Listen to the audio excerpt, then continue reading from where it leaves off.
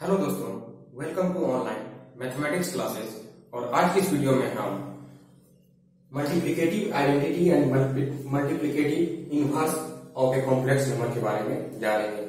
मतलब कोई complex number दिया हुआ है, उसका हम मल्टीप्लिकेटिव आइडेंटिटी और मल्टीप्लिकेटिव इनवर्स किस प्रकार से निकालेंगे, वो देखेंगे राइट इसको समझने से पहले आप एक सिंपल प्रोग्राम पे आइए।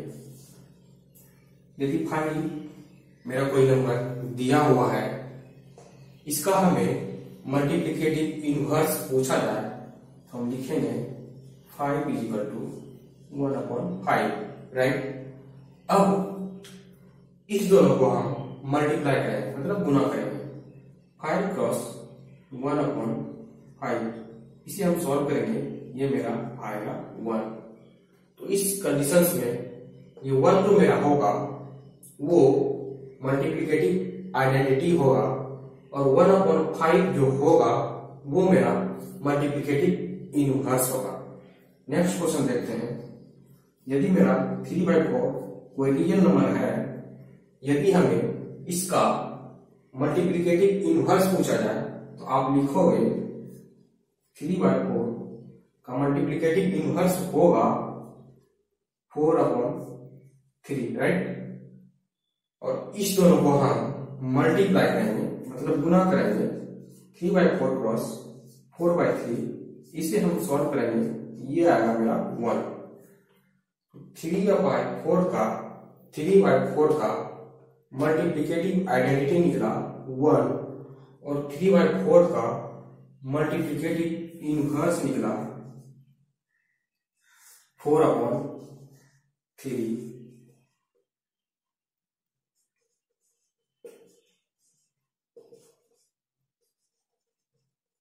तो ये मेरा मल्टीप्लिकेटिव इनवर्स सॉरी आइडेंटिटी मतलब कोई भी रियल नंबर हो, उसका हमें मल्टीप्लीकेटिव आइडेंटिटी निकालना रहे तो हमेशा वन होगा राइट और उसका मल्टीप्लीकेटिव इनवर्स निकालना रहे तो उस नंबर को हम पलट देते हैं।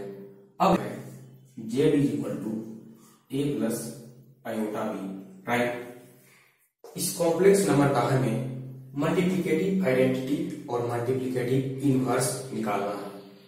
तो इस कॉम्प्लेक्स नंबर का सबसे पहले हम मल्टीप्लिकेटिव इनवर्स निकाल लेते हैं राइट मल्टीप्लिकेटिव इनवर्स निकालेंगे तो ये मेरा होगा one upon one plus iota B right अब इस नंबर को हम ऊपर नीचे से रेशनलाइज कर देते हैं। मतलब ऊपर मल्टीप्लाई और नीचे डिवाइड कर देते हैं और बीच में जो साइन है प्लस का वो माइनस कर देते हैं, जिसे हम बोलते हैं परिमेय करना right E minus iota B okay अब ऊपर ऊपर हम मल्टीप्लाई करेंगे और नीचे नीचे मल्टीप्लाई करेंगे। A minus iota B upon A square minus iota B square just like A plus B A minus B आपने पढ़ा होगा A square minus B square होता है। ये मेरा हो गया A square minus iota B square A minus iota B upon A square minus इसे हम सॉल्व करेंगे। आयोटा का स्क्वायर माइनस और बी का स्क्वायर बी स्क्वायर राइट ये मेरा हो गया माइनस बी स्क्वायर ओके इसे हम और सिंप्लीफाई करेंगे। ये मेरा है A minus iota B upon A square plus B square minus minus plus अब इससे हम सेपरेट सेपरेट करके लिख सकते हैं। A upon A square plus B square minus iota B upon A square plus B square right ये मेरा जो आया, इस कॉम्प्लेक्स नंबर का मल्टीप्लीकेटिव इनवर्स निकला राइट अब इसे और इसे हम मल्टीप्लाई कर देंगे। तो मेरा आएगा वन तो वो जो वन आएगा, वो मेरा होगा मल्टीप्लीकेटिव आइडेंटिटी राइट आप इसे और इसे मल्टीप्लाई करके देख सकते हैं। ये मेरा वन प्लस ज़ीरो आएगा जो आएगा, वो मेरा इसका मल्टीप्लीकेटिव आइडेंटिटी निकलेगा। कहने का मतलब कोई भी कॉम्प्लेक्स नंबर मेरा दिया है, उसका हमेशा उसका हमेशा multiplicative identity one plus iota zero ही आएगा राइट और इसका हमें मल्टीप्लीकेटिव इनवर्स निकालना है। ये प्रोसेस हम अपनाएँगे। और नीचे सॉल्व करेंगे राइट इसी से रिलेटेड एक क्वेश्चंस देखते हैं राइट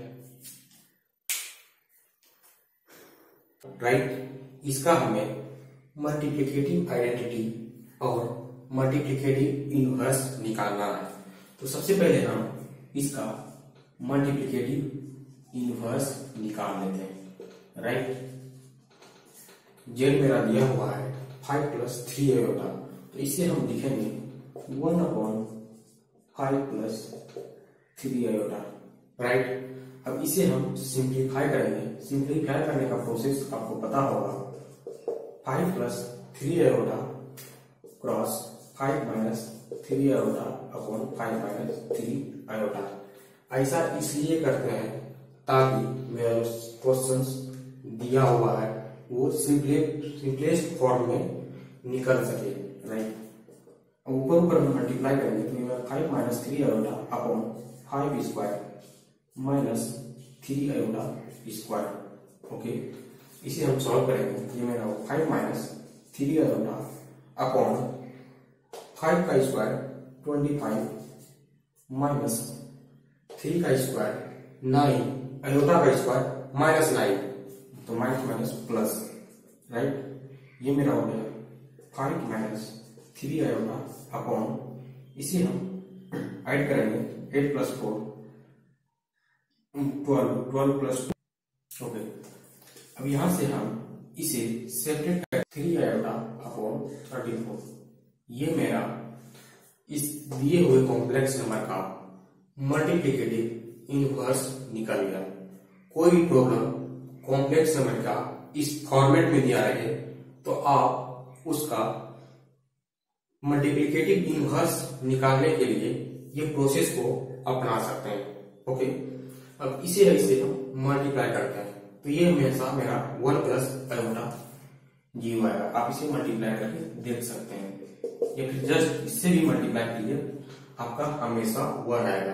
राइट तो हम इससे ही मल्टीप्लाई कर देते हैं। Five plus three iota upon five minus three iota sorry plus cancel होगा ऊपर नीचे तो ये मेरा होगा वन इसे हम लिख सकते हैं one plus zero iota okay ये मेरा निकल गया मल्टीप्लीकेटिव आइडेंटिटी और ये मेरा निकल गया multiplicative